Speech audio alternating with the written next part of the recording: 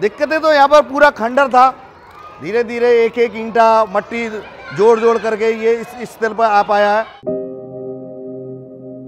आज भी जो है बारिश का पानी आता है, लेकिन मेट्रो के वजह से जो है हम जो इसका कोई विकास नहीं कर पा रहे हैं। बारिश आती है, उस समय पे स्कूल बंद हो जाता है, बाकी जो है फिर हम चलाते रहते हैं।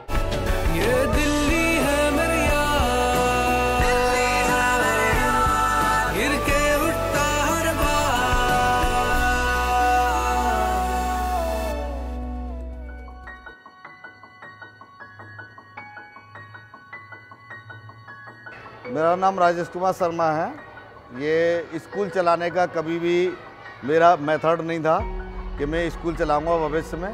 लेकिन सन 2006 में जब मैं यमुना बैंक मेट्रो स्टेशन पर घूमने गया था तो उस समय वहाँ पर मेरे को दो बच्चे गरीब स्तर के मिले जिनके पैर में ना जूता था, ना चप्पल थे, ना शरीर पर कपड़ा था। उनको देख करके कुछ लगा कि हमें इनके साथ में कुछ करना चाहिए। तो हमारे मन में चाह रहे हैं, क्यों इनको ऐसी कोई चीज़ दी जाए जो कि इनके ज़िंदगी में काम आए। तो उसके लिए एजुकेशन से बढ़ कर के कोई चीज़ नहीं है। मैंने अपनी ज़िंदगी में इतने काम करने के बाद मुझे ये मालूम पड़ा है कि वास्तव में एजुकेशन एक अहम चीज़ है। बच्चे को मिल जाती है तो उसको ना उसकी मम्मी ले पाती है, ना पापा ले पाते हैं और ना कोई छीन सकता है। जितना उसको यूज़ करोगे उतना ही वो बढ़ता है। मेरा गाँव से कॉलेज का सफ़र जो है उनतालीस किलोमीटर का था। लेकिन पैसा न होने के कारण जो है मैं उनतालीस किलोमीटर के जाकर के पूरी पढ़ाई जो है नहीं कर सका। बीच में एक साल पढ़ने के बाद में कॉलेज को मैंने छोड़ दिया, क्योंकि रोज़ थर्टी रुपीज़ जो है लगते थे। तीस रुपये हमारे घर वालों पर भी नहीं होते थे तो मेरे को जब भी अकेला आज बैठ जाता हूँ, आज भी वो कमी मेरे को महसूस हो रही है, क्योंकि परिवार के साथ में रह करके मैं उस चीज़ को पकड़ नहीं पा रहा हूँ कि जो पढ़ाई छूट गई है, शायद वो होती, कहीं इंजीनियर बना होता या क्या होता, फिर अपने को ये समझा लेता हूँ कि इंजीनियर बन जाता तो इस क्षेत्र में मैं काम भी नहीं करता। ये काम मेरे को बहुत मुसीबत का लगता। मैं झुग्गी झोंपड़ी के बच्चों को ही खाली पढ़ाता हूँ।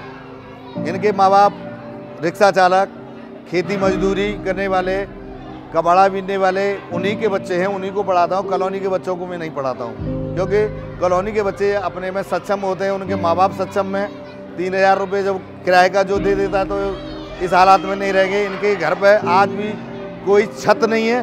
प्लास्टिक की चद्दर की कारण छत होती है। जब बारिश आती है, उसको तान लेते हैं, बारिश बंद हो जाती है तो उतार के रख लेते हैं। गर्मी पड़ती है तो पेड़ों के नीचे जैसे तरीके से कहना झोंपड़ी बना रखी है, उसमें काम करते हैं। दिक्कतें तो यहाँ पर पूरा खंडर था। धीरे धीरे एक एक ईंटा, मट्टी जोड़ जोड़ करके ये इस स्थल पर आ पाया है। आज भी जो है बारिश का पानी आता है, लेकिन मेट्रो के वजह से जो हम जो इसका कोई विकास नहीं कर पा रहे हैं। बारिश आती है, उस समय पे स्कूल बंद हो जाता है, बाकी जो है फिर हम चलाते रहते हैं। मैं तो ये कह रहा हूँ कि जो स्टोरी लोग जो देख रहे हैं, ज़्यादा ना हो सके, अपने परिवार के नज़दीकी कोई गरीब स्तर के बच्चे रह रहे हों तो उनको उठाने की कोशिश करें और उनको सपोर्ट करें जितना हो सके उतना, क्योंकि गरीब लोगों तक शिक्षा इसीलिए नहीं पहुँच पाती है कि वो इसके काबिल नहीं हो पाता है और उसमें उसका खर्चा नहीं उठ पाता है।